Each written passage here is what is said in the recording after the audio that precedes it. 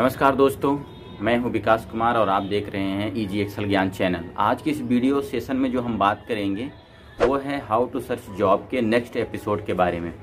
पहले वीडियो में जो मैंने बताया था, उस पर आपको बताया था कि आप जॉब कैसे सर्च करें उसके लिए आपको बेसिक जानकारी क्या चाहिए बेसिक इन्फॉर्मेशन क्या चाहिए?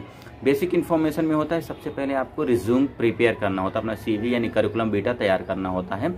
उसके लिए मैंने आपको इस वीडियो में बताया था, आप स्क्रीन पर देख सकते हैं जो चल रहा है। इस वीडियो में आप पाएँगे कि आपको फ्रेशर और एक्सपीरियंस रिज्यूम कैसे बनानी है और क्या क्या जानकारी होनी चाहिए और फॉर्मेट क्या होना चाहिए। यदि आप एक बिगिनर हैं तो आपको फॉर्मेट कैसे मिलेगा, किस प्रकार का फॉर्मेट आपके रिज्यूम के लिए सुटेबल होगा, वो सारी जानकारी इसमें हम दी है, ने दी है। आप इसको देखेंगे तो प्रॉपर समझ पाएँगे। उसी क्रम में ये नेक्स्ट वीडियो जो आज की वीडियो में हम बात करेंगे, वो है कि आपकी रिज्यूम यदि एक बार तैयार हो जाती है तो उसे यदि आप घर बैठे अप्लाई करना चाहें तो कौन कौन सी ऐसी साइट्स हैं उनमें अप्लाई कर सकते हैं? उन सभी साइट्स के बारे में जानेंगे और उन साइट्स में पेड सर्विस लेनी चाहिए या नहीं? उन साइट्स में आपको अप्लाई करने का कोई चार्ज लगेगा या नहीं? ये सारी चीज़ें हम जानेंगे। और उसमें कितना ट्रस्ट है, कितना भरोसेमंद है, वो सारी चीज़ें जानेंगे। तो चलिए शुरू करते हैं। तो सबसे पहले यदि आपकी रिज्यूम तैयार हो जाती है तो उन साइट उसको प्रिपेयर करने के बाद आप, आप अपने मोबाइल के ज़रिए भी कई अलग अलग साइट्स में तैयार कर सकते हैं अपलोड कर सकते हैं। उसके लिए मेनली जो साइट्स हैं अलग अलग हैं।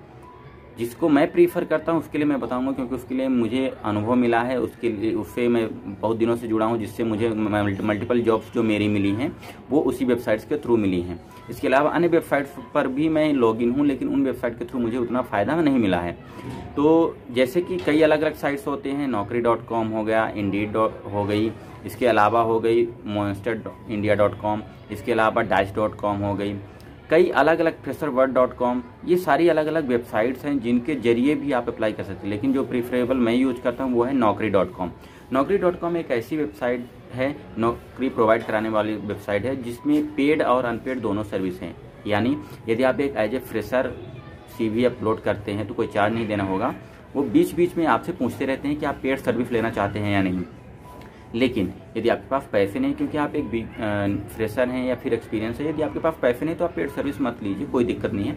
फिर भी वो एक अच्छी जॉब अपॉर्चुनिटी आपकी प्रोफ़ाइल से रिलेटेड अपलोड करते हैं।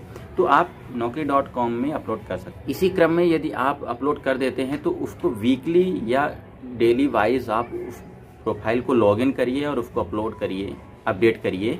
वीकली या डेली वाइज यदि अपडेट करते हैं तो आपको आपकी प्रोफ़ाइल में एक्टिव रहने की सूचनाएँ मिलती रहती है रिक्रूटर्स को, जिससे आपको सर्च करने में उनको आसानी होती है। क्योंकि एक्टिव रहना ही ये दिखाता है कि आपको जॉब की ज़रूरत है। तो इन वेबसाइट्स के ज़रिए आप अपनी सी को अपडेट कर सकते हैं। तो इस क्रम में यदि आप अपने सी को अपडेट करते हैं तो आपसे रिलेवेंट जानकारियाँ आपको मिलती हैं और जॉब की अपडेट भी मिलती हैं। आप सारी चीज़ें अपलोड करें। तो इस वीडियो में आज की जानकारी इतनी थी। मिलते हैं नई वीडियो में नई जानकारी साथ, जिसपे आप ये देखेंगे कि ऑनलाइन के अलावा भी और कौन कौन से माध्यम हैं जिसके ज़रिए आप जॉब सर्च कर सकते हैं और घर बैठे इसके अलावा भी और कौन कौन से माध्यम हैं जिससे आप इजीली जॉब की जानकारी प्राप्त कर सकते हैं। तो मिलते हैं नई वीडियो में नई जानकारी साथ, तब तक के लिए जुड़े रहें हमारे चैनल के साथ। Bye bye